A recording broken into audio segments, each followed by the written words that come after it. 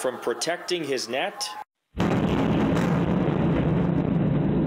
to now protecting his country. Winnipegger Svyatik Artemenko has enlisted with the Ukrainian armed forces as Russia continues its invasion of Ukraine. It was long expected, but uh, just it just didn't really kind of feel real at that time. Artemenko was born in Odessa before his family immigrated to Canada when he was two years old. He played soccer in Winnipeg and briefly danced with the Rusalka Ukrainian Dance Ensemble. Artemenko went to Ukraine on January 29th and was in Khmelnytsky for a trial with Ukrainian soccer team FC Podillia.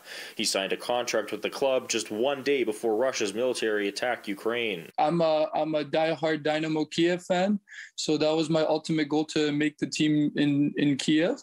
But uh, with this war, goals and dreams have to be put aside uh, for for the freedom and for for your people here, for for your country. Artemenko played goalie with Winnipeg's Valor FC and was most recently playing soccer in Guelph, Ontario, where he won two championships in November. But the excitement of winning and signing a contract with the team in his homeland, he says, is now a distant thought. His sole focus now is to protect Ukraine. I think it would be super unfair for me to flee and go live my perfect life uh, in in peace, uh, knowing that there's people my age here, younger, older, fighting, putting their lives down on the line. Artemenko says he's fortunate to have some military training. From 16 to 18, he was a combat engineer with the Canadian Reserve Force in Winnipeg. He tells City News he will not flee the country and will not stop fighting until Ukraine's independence and freedom is established. He says he's scared but is prepared to die. In our anthem, it goes, We'll put our soul and body on the line for our freedom. So